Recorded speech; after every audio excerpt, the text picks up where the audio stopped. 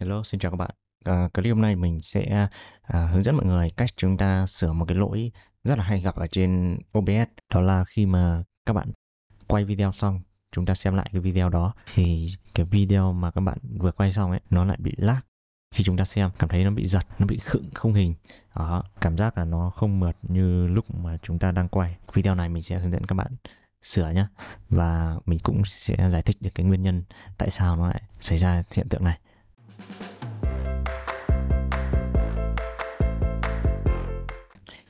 Um, ok, thì um, cái lỗi này thì chắc chắn là thường xảy ra với những cái bạn mà chơi game rồi. Chúng ta quay màn hình khi mà chúng ta chơi game, thì lúc mà xem lại thì nó lại bị lag.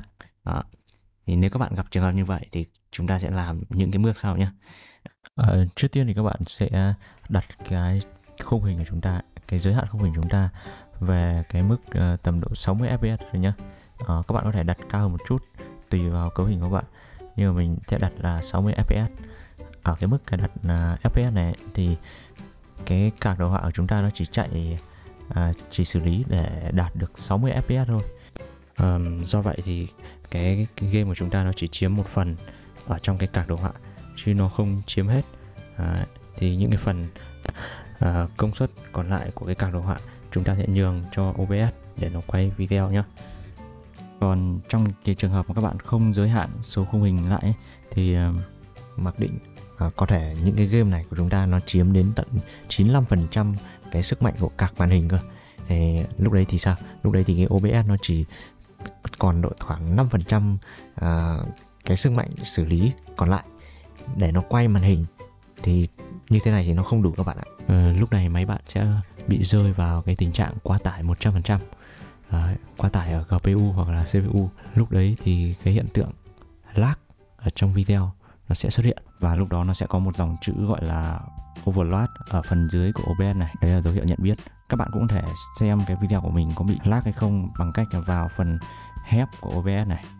Và chúng ta xem cái bản ghi long gần nhất và ví dụ ở đây là cái video lúc nãy mình quay nó bị lag đến hơn 80% cơ. Đó. Thì đó là cách để chúng ta kiểm tra nhé và điều số 2 chúng ta sẽ làm đó là các bạn sẽ vào phần cài đặt của OBS chúng ta ấn vào phần nâng cao Advanced này. Và phía trên à, các bạn có thể nhìn thấy cái dòng ưu tiên. Thì ở đây các bạn sẽ chọn cho mình ở mức 2 nhé là mức cao nhất. À, thông thường thì nó sẽ ở cái mức gọi là normal mức bình thường à, các bạn sẽ chuyển sang mức 2 mức cao cho mình.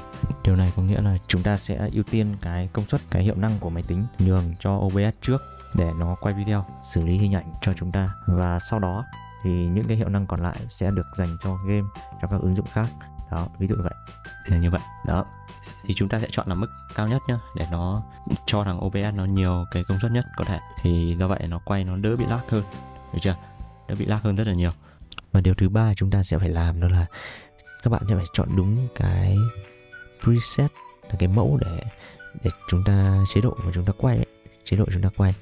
À, ví dụ ở đây là có máy của mình có cái card dòi Nvidia này. Thì làm sao? Thì mình sẽ chọn muốn quay nó không bị lag thì chúng ta chọn performance này là chế độ quay gọi là hiệu suất. À, tập trung vào hiệu suất. Thì có nghĩa là nó sẽ lúc mà quay nó sẽ tốn ít GPU nhất nghĩa là tốn ít cái công suất của cả màn hình nhất thì nó giúp cho cái máy của bạn nó không bị quá tải khi mà chúng ta vừa chơi game mà vừa quay màn hình. Những cái điều này nó sẽ giúp cho cái video của chúng ta khi mà quay xong nó không bị ờ, giật, nó không bị lag nữa. Đó. Thì tất nhiên là chúng ta sẽ phải đánh đổi cái chế chất lượng nó sẽ bị giảm đi một chút khi mà chúng ta chọn cái chế độ này. Đó, thì các bạn có thể tăng cái cái phần bitrate này lên này tầm độ khoảng à, 10.000 đến 12.000 với cái à, màn hình Full HD nhé à, với màn hình Full HD Đấy. ở đây thì máy của mình chơi Minecraft thì mình thấy là cái thiết lập đấy là nó hợp lý. Đó.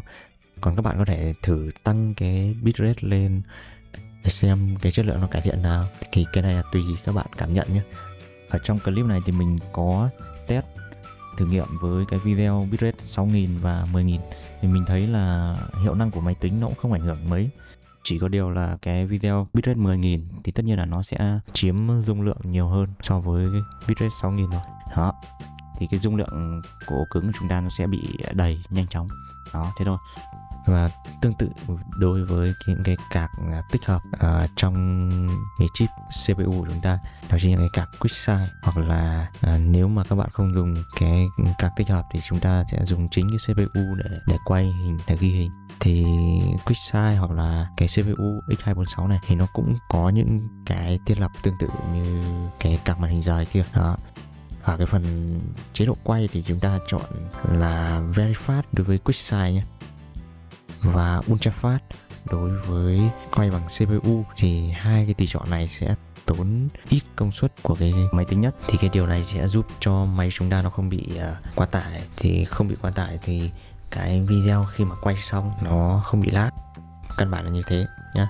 Tương tự như cái cặp màn hình rời kia khi mà ta chọn những chế độ này ấy, thì chúng ta sẽ phải hy sinh cái chất lượng hình ảnh đi một chút. Do vậy chúng ta sẽ phải tăng bitrate lên một ít cho nó đẹp nhá để từ 10.000 đến ờ, 12.000 à, ờ, đây là cái thông số của mình nhé còn các bạn có thể tăng hoặc là giảm một chút tùy theo cái cảm nhận của bạn nhé ok? Và cái vấn đề thứ tư đó là các bạn sẽ à, điều chỉnh cái số khung hình mà OBS sẽ quay trong một giây.